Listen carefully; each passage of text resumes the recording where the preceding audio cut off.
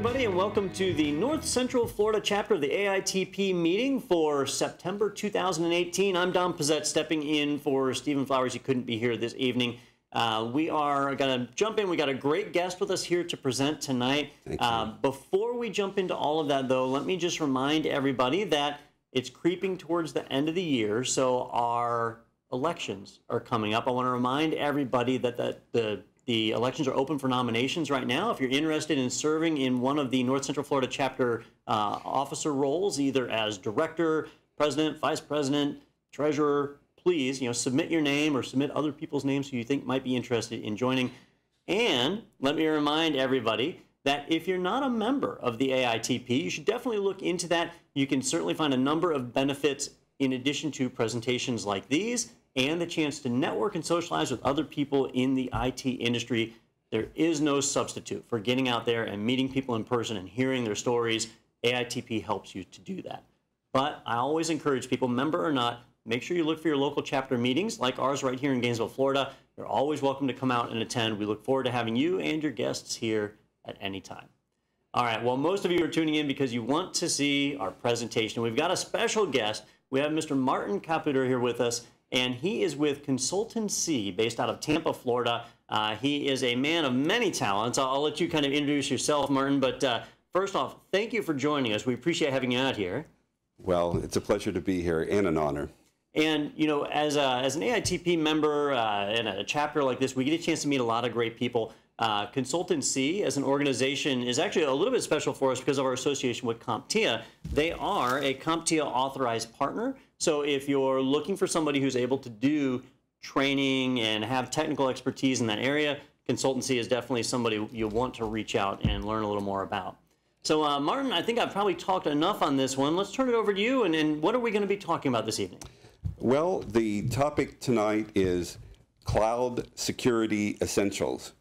And I appreciate your offer to have me introduce myself a little bit more, but there is a very compact, very a uh, lot of material here. Uh, Don was skeptical whether I was going to get through it in the right amount of time. So I'm going to get right to it. The only thing that I will add to what Don has said, uh, I also have a role as an AWS partner, a consulting partner. So that, I don't know, my interest in the cloud came before that but uh, it certainly has helped feed it. Well, when you think about cloud, and particularly cloud security, you end up with some questions. You wonder, what are the cloud's major benefits, especially from the security standpoint? There's a term, shared responsibility. What does that mean? Why should I care? And a very key question is the cloud service provider asserts that they have all of these security features. How do you know that they're effective? How do you learn how to trust your cloud security provider? We're going to go over that and we're going to throw some spices into the mix because it's necessary to go over some few key terminologies and concepts. I came up with one myself, uh, strategic sphere, as opposed to stratosphere, strategic security sphere. That's, that's where we're entering right now.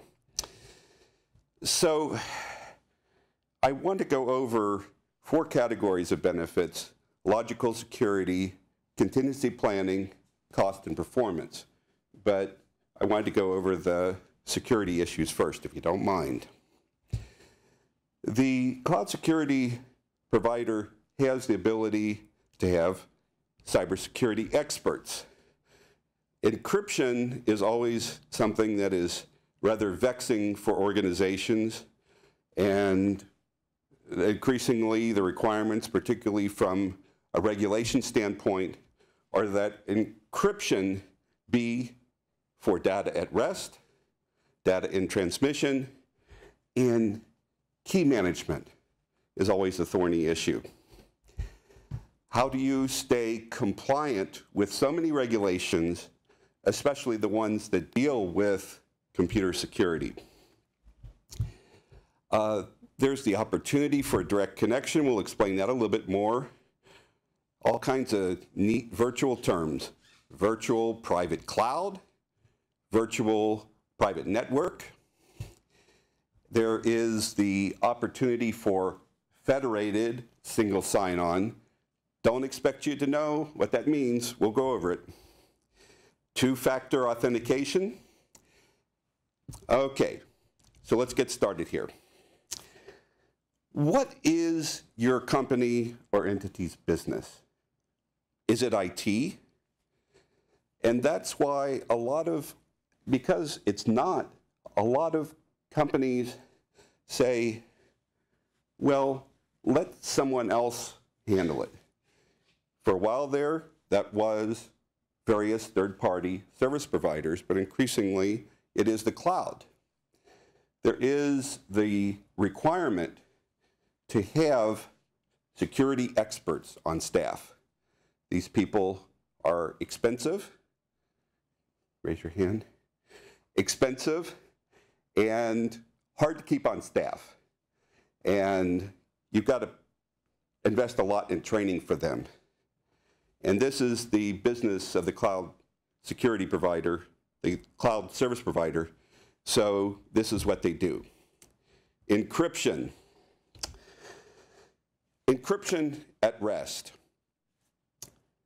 Many services on the cloud have encryption by default. Cool, nothing to do. It's set up there. You have a choice to encrypt whatever you want. And this, uh, you think of a data center, it's made up of all these different components, different software and hardware pieces. In the cloud, we, we call these services. Each one is a service. And uh, you have a choice of putting these services together. And so you have a choice. There's a standard, standard set of the uh, the encryption, and many other features, and you decide how much further you want to go as that. Now, one of the problems with encryption is that it, uh, I heard this a lot as an IT auditor. Oh, it slows down our response time. And the cloud has often answered that.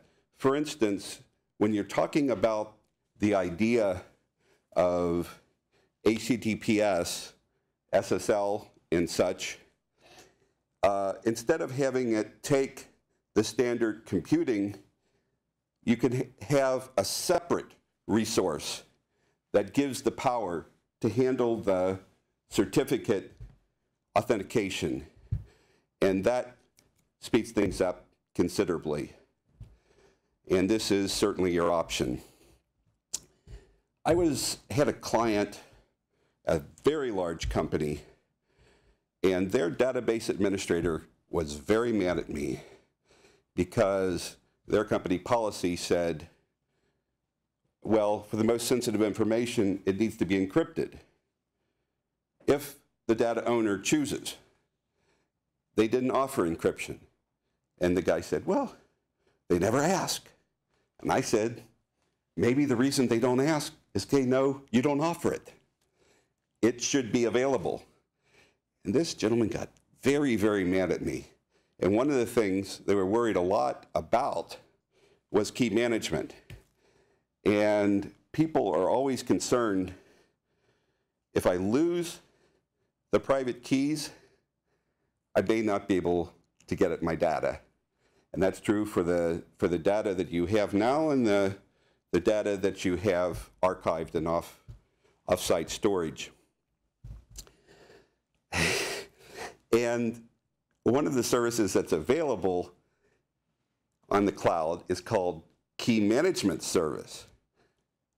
They will manage the keys for you. You say, Well, that gives people at the cloud service provider access to our keys. They assure the clients, no, they can't. And we'll talk a little bit more about how you satisfy yourself to that. But a very interesting point is it, for the, uh, mention another uh, certificate sponsor, ISC Squared, on their certified cloud security practitioner test, says, what is the best practice? And the best practice is for the client to hold the keys. Well, I don't think the answer is that simple because there's always trade offs with controls. And when you hold the key, you're also holding the risk. So that's an interesting discussion in and of itself. How many people like staying in compliance with regulations? No hands. Oh, we have one hand. Well, that's amazing. Uh, in a typical world, PCI, if you take electronic payments, you must make your, your living doing that. It's like, you know, who likes being an auditor? And then the auditors will raise their hands. uh, so with uh, FERPA, if you're an educational institution or a bank that deals with students, you have to keep their data private. HITRUST is the new term for HIPAA compliance. Uh, FedRAMP is a very interesting system, a very interesting program because the federal government, through FedRAMP and FISMA, has motivated very strongly the federal government and the state and local governments in tow to migrate to the cloud. But in order to do so, you have to be certified as being compliant with FedRAMP standards. We'll go over that a little bit more. This is one of my favorites because FFIEC, I used to be a bank examiner, and that's all under FFIEC. So that's covered there. GDPR. I remember at the beginning of the year, virtually every uh, continuing education program, get ready for GDPR, get ready. And it's there. And everyone's favorite, the Department of Defense. If you are a contractor, you have to comply with the Department of Defense regulations.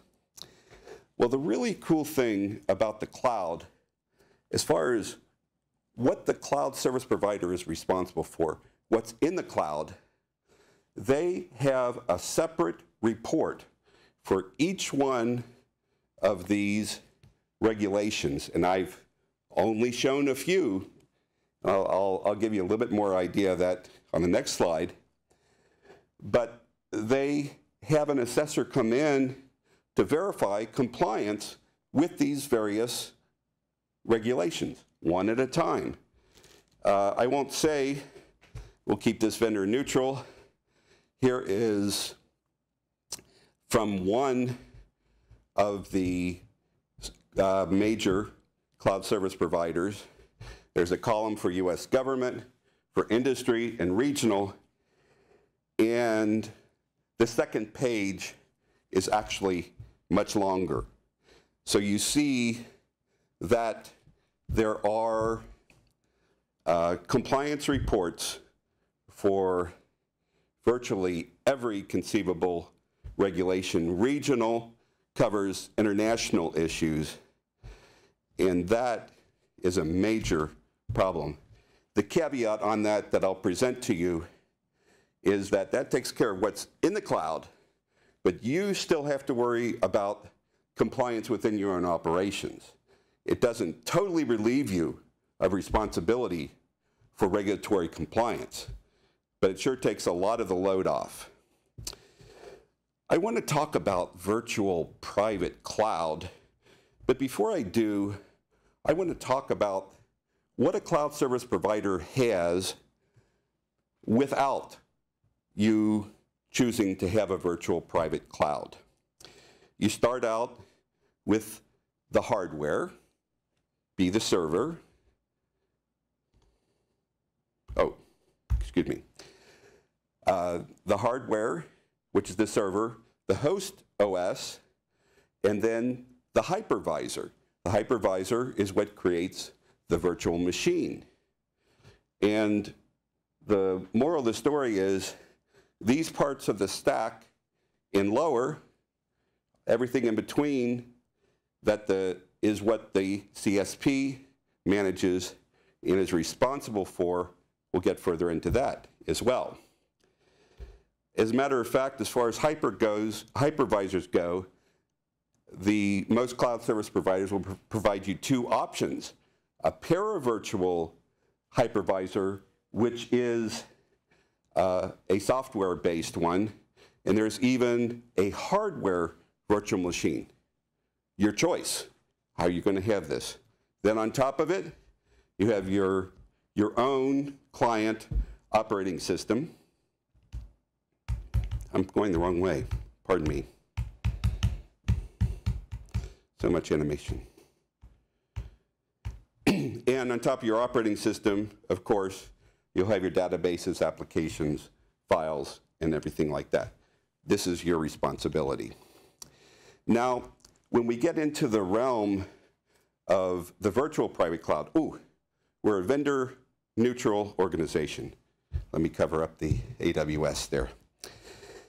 Uh, the idea here is beyond having the virtual machine per se, uh, which is only for you as one client, you can also set up a virtual private cloud which can include your, uh, your instances in more than one location. This is a fairly common terminology with the cloud service providers that you have availability zones or zones. There would be several in a region. Then there are many, many regions. And so in this situation here, let's just say there's region one. And the, we, we, there may be more than two data centers in the availability zones within that region. But your client, you the client, has two. And the idea here is that the entire virtual private cloud covers both your instances in different data centers. And so you, you set up, uh, each one of them can have, in, in each one we'll have a different subnet. And this is a very simple diagram. I think it's, it's clear to add the fact that you can have, in both of them, you can have private and public virtual private cloud subnets. And the idea here, you think about what kind of security this is going through. It's going to have an internet gateway. Then it's going to go to the router level. Then it's going to go to a network access control list. And then within each subnet, there will be security groups.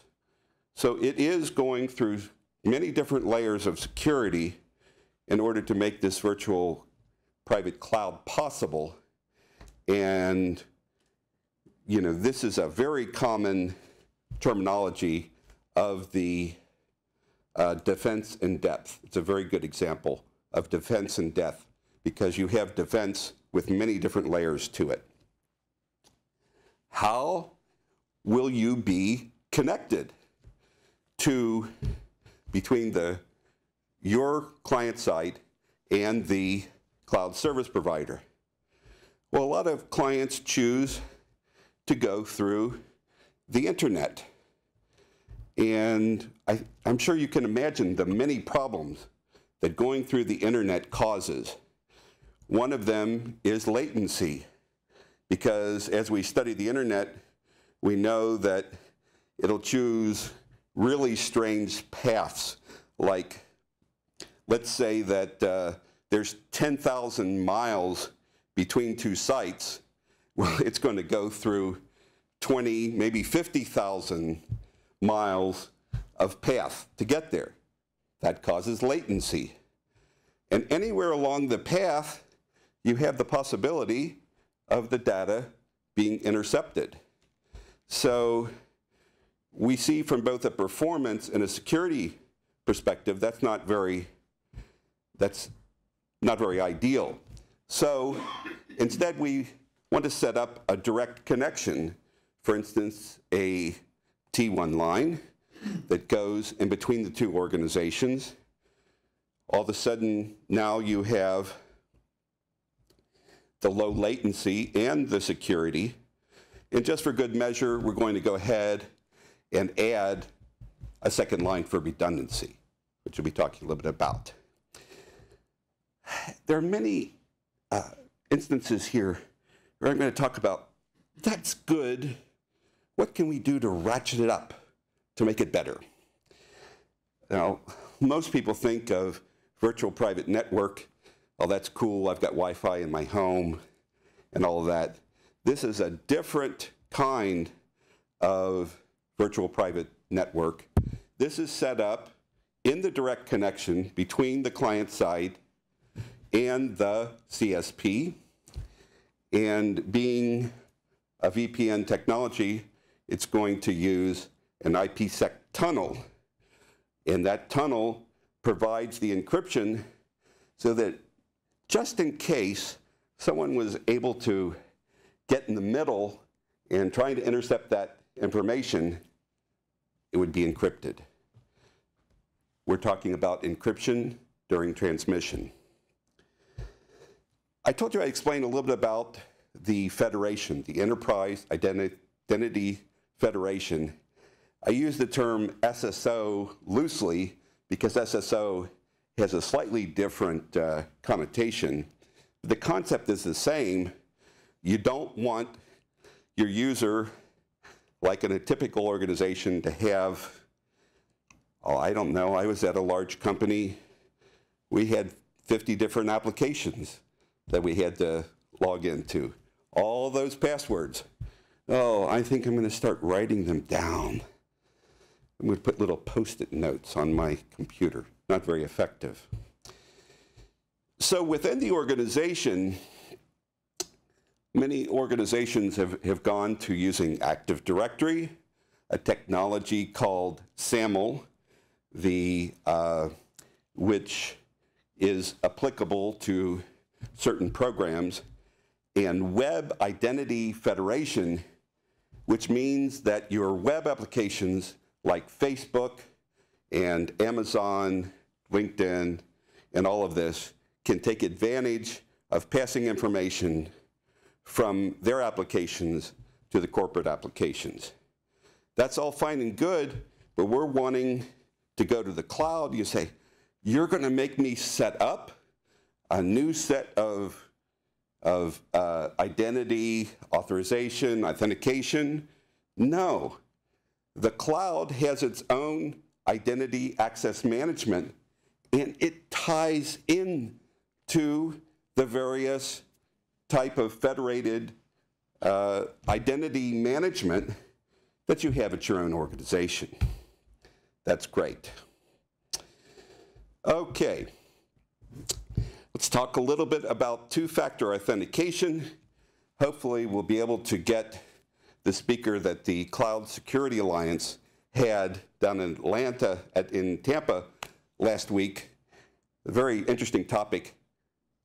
12 ways to hack two-factor authentication. Having said that, he did add the caveat. Even though it can be hacked, choice between no two-factor authentication or multi-factor authentication and having it, better to have it. So in general, we talk about the idea multi-factor meaning something that you know, your password, something that you have, which I'm sure a lot of you use a device on your mobile phone or whatever that gives you these cute little six digit codes. When you're trying to log in, you have to put in this code that is provided by your uh, mobile phone app. We won't go into the mechanics of that, but that in and of itself is very interesting. So if you have those two together, that is two-factor authentication. Important to know here that a cloud service require a cloud service provider may actually require the use of two-factor authentication for root administrators, despite its potential for not being a perfect control. What IT control is perfect? None of them. And the third aspect would be something that you are, such as your uh, the, the, new thing in uh, with with mobile uh, sign-on. You have face recognition. You have the use of your fingerprint. I, I can't use it because my fingers are too big. The uh, the software, the uh, the actual device, it's made for most people, and I'm not most people. I'm a big guy. Uh, also, we're talking about retinal scans and things like that. And it's the in, in the cloud required for root administrators, but for other users, it is available. Contingency planning is something that has been totally changed, totally revolutionized, a new paradigm in the cloud. I think back 20 years ago as an IT auditor, and the things that I was requiring or, or recommending highly to my clients about um, the contingency planning, and those things have become so much different in the cloud. We'll be talking about some terms. I'm just introducing it now, so I won't fully explain it, but I will later. Durability, data life cycle. These are things that are improvements in the cloud. Achieving your recovery point objectives. Fault tolerance and availability. A lot of the people use these terms interchangeably. We'll explain what the differences are. Things that contribute to fault tolerance and availability are redundancy and load balancing, geographic dispersion of being far away from uh, the other sites. And there's a very interesting thing, if you're not familiar with it, it's going to be very interesting. Auto scaling, and we'll explain why auto scaling really becomes a uh, fault tolerance availability issue. And one that's going to really blow your mind away is what's available from disaster testing.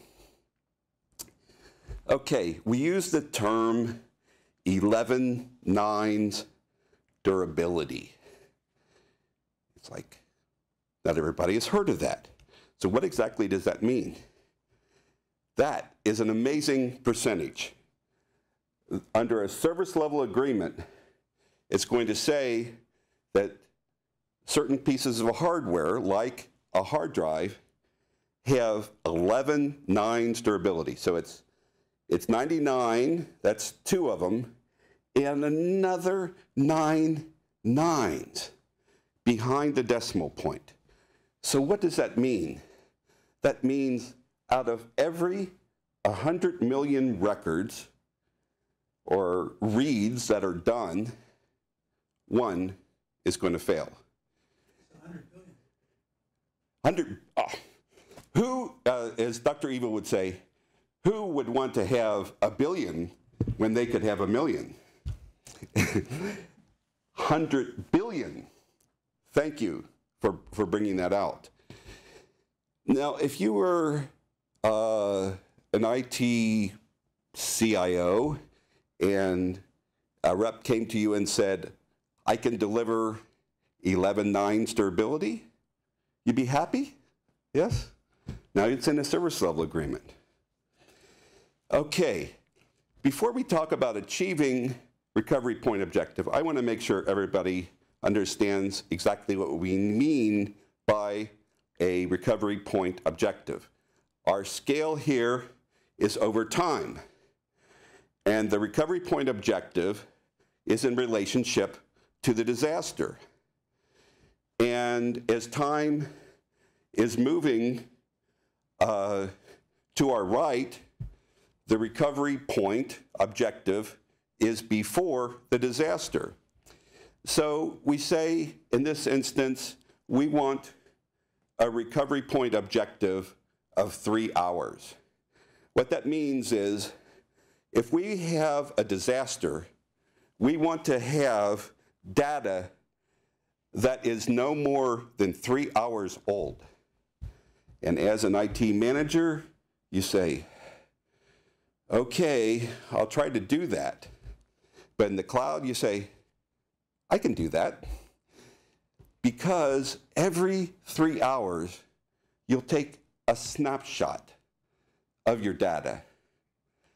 And so you are actually guaranteeing a recovery point objective of three hours because every three hours you're taking another snapshot.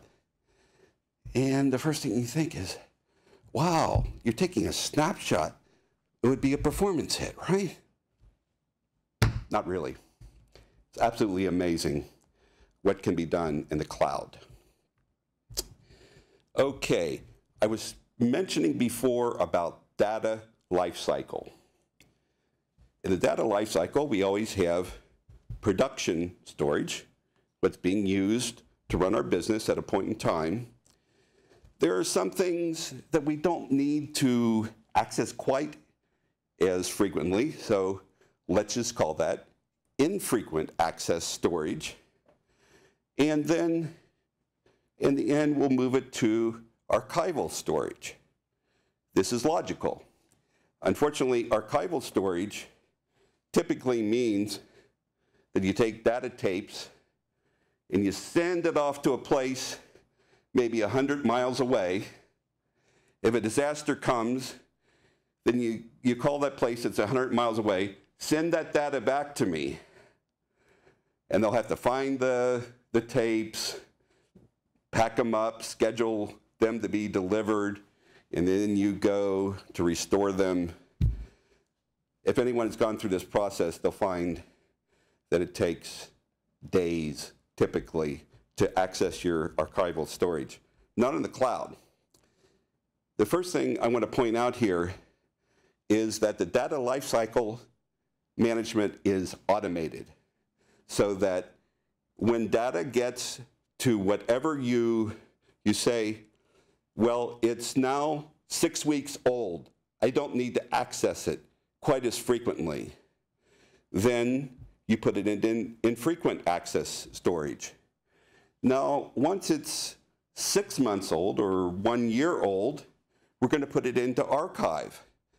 Here in the cloud world, we're not talking about the, the uh, tapes. We're talking about the fact that it is held virtually somewhere, but as far as turnaround, we're talking about several hours. And I think anybody who's, who's been in the business for very long is sitting there saying, wow, that's amazing. Okay, fault tolerance. I read a definition. I didn't really like it, so I sort of altered it to, to make it what I what I believe, what I have found fault tolerance defined as. Minimal or no disruptions when you have a hardware or software failure. Does that sound reasonable for fault tolerance? The idea is a fault is a failure of some component of your system. And you want to make sure that when you have either a hardware or a software failure, your business is not disrupted or it's disrupted for as minimum of time as possible, which enables availability. Users can access data or IT resources with minimal delay where they are in a correct format. So that's all nice. Once again, we're in the, the we're the CIO, we're having a vendor come to us, and we're going to say, by service level agreement, we are going to guarantee you 99.99% availability. I'm seeing a shaking a head out here. Is that out of disbelief? You, you, would, you would like to see uh, a higher, higher ratio. Five nines. Five nines. Maybe that's a half day a year. And you can. This is the, the standard availability that comes, which is one hour, less than one hour per year at 99.99%. We're going to go through a progression about availability. At the lowest rung of this scale, we're going to have simple redundancy, where we're showing whether it be a server or a database, we have a production instance, and we're going to replicate it up to a standby instance so that if the production instance goes down, you can revert to the standby instance. That's nice. That's good. But typically, we're talking about maybe there be a standby server right next to the server, the production server. That's nice. But if we go to the next level, we're going to talk about having load balancing, where both of the servers are in production, and the load balancer is going to split the, uh, the load, the uh, processing that's coming in between the two servers or between the two databases. And that way, uh, it helps reduce latency, and it helps make sure that one of the instances does not get too high of utilization. It's balancing it out. And instead of a one-way synchronization, we're going to have synchronization both ways because these are both in production. And this can be nice because if you have uh, a failure of one component, it is the, the second component, the instance two, is being kept up to date. So when you fail over to the second instance, you may have a, seamless experience with your customers. But I'm going to ratchet that up a, a bit. This is the same scenario that we just had. But instead of a standard load balancer, this is going to be a fault tolerant load balancer.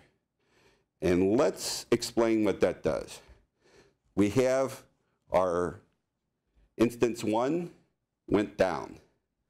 The fault tolerant load balancer detects that and immediately cuts all transmissions to it and stops the replication. To me, this is the amazing part that the fault tolerant load balancer is going to automatically launch another server as a replacement. And then it's going to start replicating with the production server that's working. And once that is synchronized, then it's going to start load balancing between the instance 2 and the new instance. This is wonderful. This is definitely a step forward from what I just described to you. Now, what we see is if you didn't have this advanced capability, your users would be sitting there very frustrated, saying not nice things about the people in IT. But instead, they're doing their work. They didn't know anything happened. So, therefore, the fault was unnoticed and seamless to the user. I'm still not happy. I'm going to ratchet it up one more time. I'm going to say I've got my fault tolerant load balancer, but I'm going to make sure that it's in two different zones. Between it, I'll have a long distance connection. Let me illustrate that further. I live in Tampa, and I've done very well for myself, so I'm going to open a cloud data center in Tampa. And I say, well, I'm going to set up one pretty far away, Atlanta. I'm going to put a high speed, uh, long distance uh, connection between the two. I'll make it redundant. Okay. Now, from people throughout the United States and throughout the world who are watching this may not know, Tampa is the lightning capital of the world. There are 700,000 lightning strikes per year in the Tampa Bay area. But that's not what I'm trying to illustrate here. What I'm trying to illustrate is that clearly Tampa and Atlanta are in different power grids. So if the power grid goes down, uh, it should not spread to Atlanta.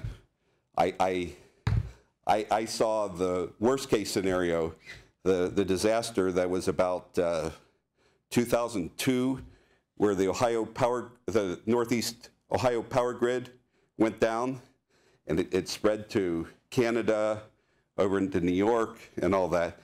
We won't talk about that, but at least we're improving in this, and faults of the power grid should be contained to a single power grid nowadays.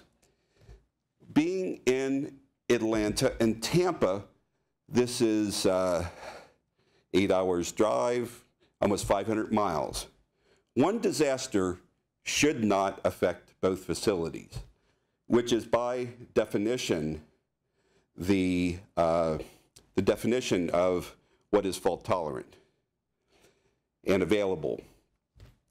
I'm going to tell you that this, this connection between Atlanta and Tampa is high speed and high bandwidth. So you're not going to have problems with latency. What I'm going to be describing here is a fairly typical thing that goes on in IT. You have a certain level of capacity, and below it, your, your capacity is fluctuating. You anticipate that it's going to go up, so you increase your capacity. And then that happens again, you increase it again. But if we look at the last tier there, we have a problem if your actual demand exceeds your capacity, what's going to happen? Boom, your system's going to go down. Not a desirable thing. So we have in the cloud this concept of auto scaling. And you're, you have a certain comfort zone, which you're operating in right now, where you're keeping the current capacity, but you've decided that you can change these parameters, but you've decided, for the time being, that 70% of the current capacity, when you have that for 20 minutes, you're going to increase the capacity by a certain level. And, or if the current capacity, you're only using 40% of it, now you can reduce your resources, reduce your instances. And that's wonderful.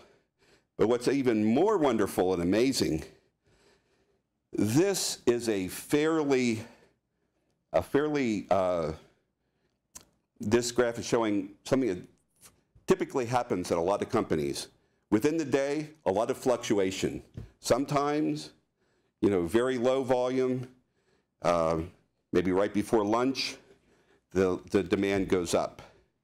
So you can actually auto scale within the day, which is absolutely amazing. Uh, I did ask the question at one of the AWS training, you have to understand AWS is owned by Amazon, but they have two separate computing systems. And I was going to ask them, what happened to your auto scaling on Prime Day when the, the volume was higher than you anticipated and, and your machines crashed for several hours?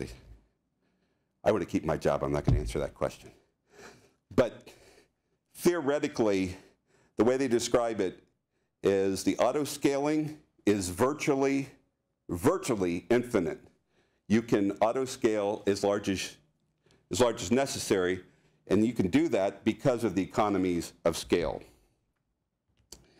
Okay, let's talk about real-time disaster planning. Great idea, huh? The idea here is we have our fault tolerant load balance. We are going to purposely shut down one of our production instances and we're going to allow this process to carry out just like we described before. The important thing is we're doing this on purpose. And to give you an example, Netflix does this on a regular basis. Randomly, they'll take a certain resource and cause a fault in it and see what happens, whether they stay online. Uh, I haven't talked about physical security. Let me just tell you that in the cloud, the physical security is all taken care of by the CSP. It'd be comparable. All right, some basic concepts on cost. In the cloud, you're generally talking about variable pricing, about the more resources that you use, you'll, you'll get charged more. If you stop using them, you'll stop paying for them. And th that is very attractive versus the idea of capital expenditures. Auto scaling and capacity planning. I just talked about auto scaling, but I remember many of my clients were, many of my consulting clients, the idea of capacity planning was all this horrible theoretical exercise. In this year's budget, how much capacity are we going to add? Not an issue here with the auto scaling. So that becomes a cost issue. These cloud uh, service providers are massive organizations. And because of their economies of scale, you can lower the price. A company could never do this with an in-house data center. Global reach, uh, the, the part of global reach that doesn't quite work AWS is opening the first Mid-East data center next year, and Microsoft is soon behind. There are no cloud data centers in Africa, uh, though Microsoft has uh, the edge uh, servers there, which we'll talk about shortly. You're able to reduce an enormous number of IT vendors that you have to deal with because they're all within the stacks that are managed by the cloud service provider. You, instead of having this specialized talent in-house, you're in effect in outsourcing it, and because of the economies of scale, the cloud service provider can hand, handle that. Managed services carry things a lot farther the cloud service provider is managing virtually the entire stack for you, not literally a software as a service, but it gets awfully close there. If you're if you have your data center and you can't quite get rid of it now, a lot of places are using cloud bursting, which says that when the capacity gets very high, then they burst into the cloud and use the auto scaling up there. Uh, development platforms, uh, really, you can fire one up, take it down. It's amazing. Agility, as this dog shows, agility not only means going fast, but it also means maneuvering. It's amazing how quickly you can go to new markets with the cloud. Uh, you know, sometimes companies are told, well, I, I want to implement this, I want to go to this market. They say, well, it'll take two years to implement that. Well, in IT terms, two years is a time enough for technology to change. The same concept applies to new applications and migrations. I Heard an amazing presentation last month for a Tampa-based company, Tampa Bay-based company called Malwarebytes. Been around for two years. They are a anti-malware software company. In two years, they've made three, ma three major changes to their architecture. They've totally redone the architecture three times in two years. Can't really do that unless you're in the cloud. The idea of, redu of reducing latency, I bring up the idea of flexible specifications so you can choose, for instance, I want a, this is normal, I want a low latency. This is the priority. Do I want that or low or high memory usage? You can choose resources that'll affect your agility and your ability to reduce latency. Direct connections are another way to reduce latency. There are supercomputing, which is almost impossible to do without the cloud. Edge servers uh, is for, for instance, if you have video content that you're trying to get all around the country or all around the world, you put that content on an edge server, which its job is to deliver the content. That's it. It's very useful for help delivering it. Uh, we uh, amazing advanced capabilities that would be virtually very costly and, and very difficult for companies to carry out.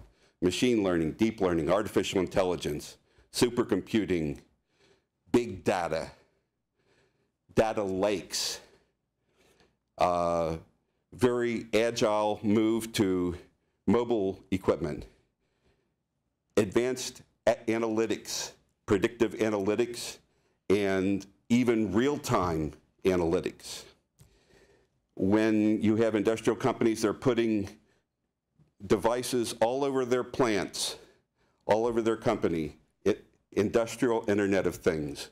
Well, you're going to need the cloud for that. We talk about the shared responsibility model.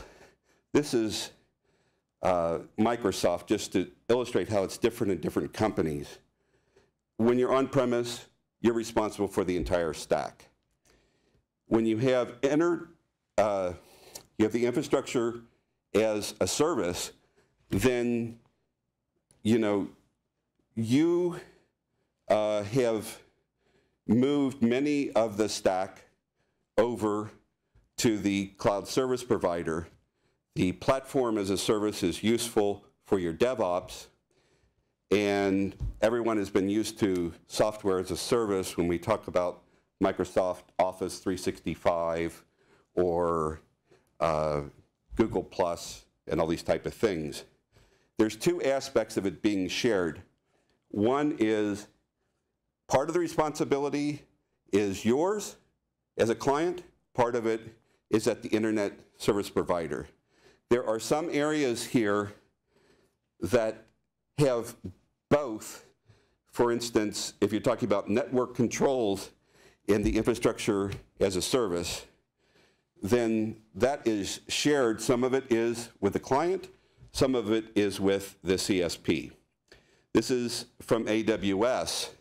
If you look at it carefully, you'll find network issues that are both, this is as an infrastructure as a service, network issues that are responsible of AWS and some of them that are responsibility of the customer.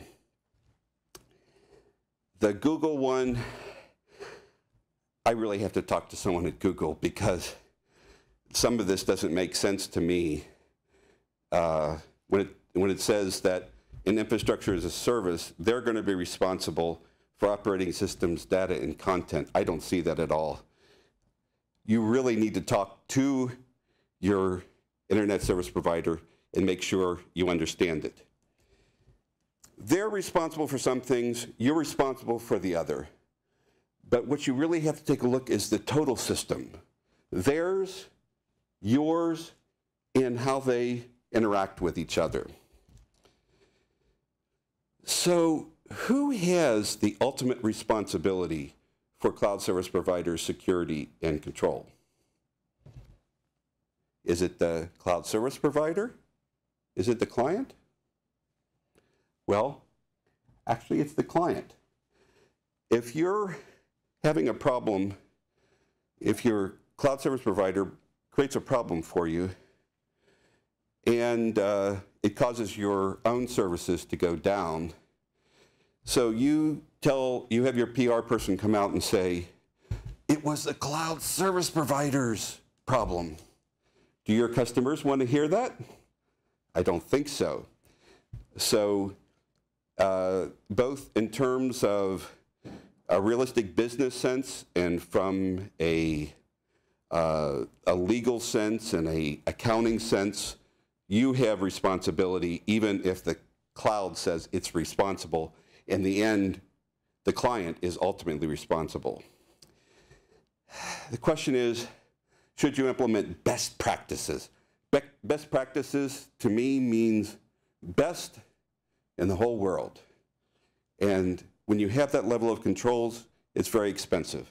So I recommend using risk management so that uh, you can make these decisions intelligently. How do you trust your cloud service provider. One of the reports you can get from your cloud service provider is called a CSA STAR report, and it is sponsored in conjunction with the Cloud uh, Security Alliance and the British Standards Institute. And they have the, the CSA has the only framework for the cloud called the Cloud Controls Matrix. They use that in conjunction with a couple other documents to do the assessments, and you can get the report from an independent assessor telling you how good the controls are there.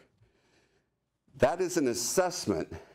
There are also audit reports, and the AICPA, the Association of International CPAs, has a standard. These Audits are carried out by CPAs. There's three levels of them. I won't get into the details. I'll just tell you the first one isn't really good because it just deals with controls over financial reporting, not comprehensive enough. The bottom one is too general because it's available to everyone. What you really want to see is the level two, which has a lot of detail. And if you combine the level two with CSA star, you have a SOC 2 CSA star report. It uses everything from the star plus the AICPA's trust service criteria. This is really the best. I'd like to tell you, as you want to learn more about this little bonus, uh, CompTIA offers two cloud certifications, one of them called Cloud Essentials, which it often recommends for management. And Cloud Plus gets you really a pretty, pretty decent understanding of the cloud. ISC Squared has, similar to the Cloud Plus, they have the Certified Cloud Security Professional, and the CSA has the certificate of cloud security knowledge. So if you're wanting to go further, these are the ones you need as far as generic cloud information, but each of the cloud service providers has their own as well. So you can go as far as you want with this, it can get really complicated, but the important thing is your company needs to have awareness of the cloud, they have to have knowledge and skills if you're going to implement the cloud That's the bottom line. Because virtually every cloud architecture decision that you make will have some form of security and control implications. I'd like to thank you for your patience because I know I went over. Don's been sitting here with the mic microphone for quite a while. This is my contact information. I encourage you, you can call me or contact me with questions that you might have. Excellent presentation, Martin. I really appreciate you coming up here and speaking. I know the group appreciates it as well as, as well as everybody online. I do want to open up the floor for questions, though. I know Great. a couple of people looked like they had a, the inquisitive look on their face. So We're going to go around and ask those, but I do want to remind everybody out there in TV land, uh, if you want to learn more about Martin and his services, you can check them out. Uh, the website is www.consultantc.services. Or if you say it quickly, consultancy. It's almost like you did that on purpose. May have been. All right, well, let's reach out to the group here. Uh, does anybody have any questions? I noticed that you had chosen Atlanta as a backup for Tampa on the concept that they're far enough apart that you know one uh, uh, damage in one probably wouldn't hurt uh, the other. In which case, the tropical season looks at you and says, "Hold, hold my frosty adult beverage." Um, right. What are the implications in moving it further away? Are there latency implications? Are there implications if you cross state or national borders? Why, how do you? What's the best way to choose where you want your co-location to be? Well, it's important to realize that every region has two or more zones, uh, usually three or more zones.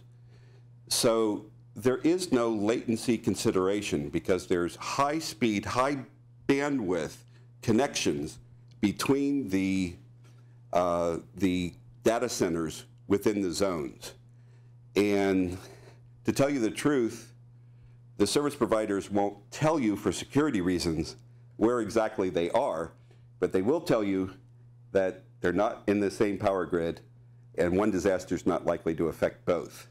If you start going in a region, that's possible too. On the cloud, anything is possible for, for a price. And uh, still, between the regions, you'll still have these, these great connections. So you won't be losing from that perspective, enabling you to match your footprint globally of your business with the cloud. And with all of those different connections, with them all being synchronized, then your disaster contingency planning becomes amazingly uh, fault tolerant. All right, who'd like to go next?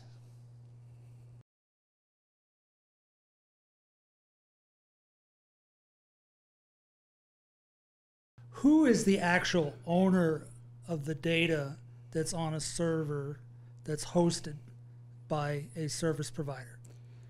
That's a very that's a very good question. Because data in all three models of uh, the IaaS, the PaaS, and the SaaS, all of that is in the the client realm. Then the client is responsible for the data. The client owns the data. So it remains yours. But what is become a concern, I, I sort of see where you're going with this, it becoming a concern is, is what they call lock-in, where you feel like you've, you've gotten integrated to all these different services with your CSP. You say, oh my God, with all the work I've done, it's going to be very hard to move to another cloud service provider. Supposedly, this lock in uh, has become less. The other side of that coin is lock out, which means what happens if the cloud service provider goes out of business. And you'll have to look at the contract to make sure that, for instance, all of the uh, unique programs that they have are held in escrow and exactly how that process is handled as far as accessing uh, all your infrastructure on the cloud and be able to port it over to another. Absolutely. Um, the reason the reason why I'm asking is because of an experience I had with a person that I assist like three years ago. They had a cloud service provider, and I don't remember who it was, and he his data was on a virtual machine, probably with several virtual machines, and one of the other people that were having their uh, stuff in the uh, uh, cloud. Another another client Yeah, had their out- own virtual machines. Yeah, but- but and and, and there's supposed to be this wall in between the different clients. Let me- let me so if you're one client, the, the other client can. Asking you. Okay, go ahead. Okay, there was another client doing an entirely different business, which turned out to be illegal. One day, this is what the service providers told him. They said, Department of Treasury took the server and left with it. And, and, and, and he said, Well, where's my data? And, he's there, and they're like, Well, we're, we're going to see what we can do. Well, uh, now, what could he have done to prevent that from happening? Or I'm just saying, Well, well, the fact that you you have your uh, your data replicated in different zones and maybe different regions means that if one or more of the servers is removed, you will still have the availability from another zone, another region, and then they'll be able to quickly build another server for you. This this is what you call uh, what you create is is like a snapshot. It's a uh, automated machine image, and they'll be able to take it very quickly. It's not just the software; it's the entire infrastructure. The snapshot of how you want things configured, the exact hardware, the exact software. The automatic machine image is restored in an, at another server, and the disruption should be minimal. You still have a uh, skeptical look on your face. Well, I just know it took like two weeks before. It took almost two weeks before his data was back. and how long ago was this? Oh, this is like three years ago. Yeah, I the things are progressing so much in the cloud. The number of services offered by all of them is growing astronomically. As the size keeps growing, the prices over time are actually going down. Everything is improving so rapidly in the cloud. I don't want to oversell it, uh, but seriously, it is something to, to look at very seriously. Can I ask just one more question? Sure. Do you, are there any assurances that the provider of your cloud services will not mine your data? This is a uh, contractual issue, and also you have to understand the way these virtual machines are set up. The fact that that they have control of the lower stacks, their people cannot touch what's inside the virtual machine. So it it should be theoretically impossible for them to go into your data and see anything. And how do you know that's the case? It's because of these assessment and more importantly, audit reports that verify that these controls are in place and effective.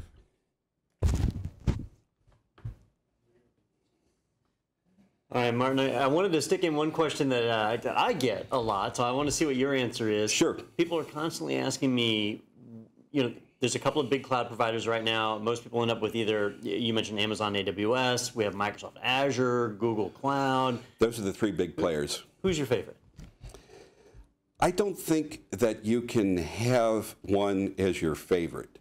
What you have to do, like, you know, some sometimes a lot of IT decisions are, are made based on the company's reputation or how well the company's name is known. Through IT, you always have to go through the same process. Start with developing your requirements. Your requirements drive the specifications you get the proposals from the various ones and make the decision. What might be the the right cloud server, a uh, service provider for you may not be the same as someone down the street. And it doesn't mean that it may be the only one. I was talking to a gentleman from a major company at one of the user group meetings. They said, well, we use this service provider in general, but we use Microsoft because Microsoft handles our Office 365, SharePoint, Exchange Server, and everything like that. So you can end up in the situation where you have multiple cloud service providers. Excellent. Well, Martin, I want to thank you again for presenting and, and thank you from the rest of the crowd. Let's give a, a big round of applause for Martin. Thank you very much. All right, and I just want to send a quick message out to everybody that is there. I mean, first off, for those of you that are here in the building with us, thank you all for attending. Uh, reminder to everybody else that's watching online, you're always welcome to join us at the local chapter meetings. They're posted right on the website. We have one every single month. You can check out the North Central Florida chapter of the AITP's website to find when the next presentation is.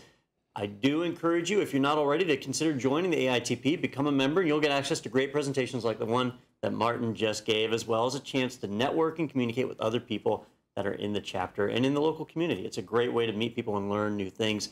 Definitely agree. And, and you've certainly given us a, a lot of food for thought after this presentation. There's there's so much. This is uh, like the appetizer, and if you want to know more, like I said, there are those professional certifications. That's a great way to gain more knowledge. All right, and then my final reminder for the night is, uh, like I mentioned before, it is election season coming up for our chapter. So if you're interested in running for an office here in the uh, local chapter, be sure to submit your nomination. We'll get you in there, uh, and elections will be happening in the, the next couple of months. So definitely keep an eye out for that. All right, well, everybody, thank you for watching. Have a good night from the North Central Florida chapter of the AIT. Thank you as well.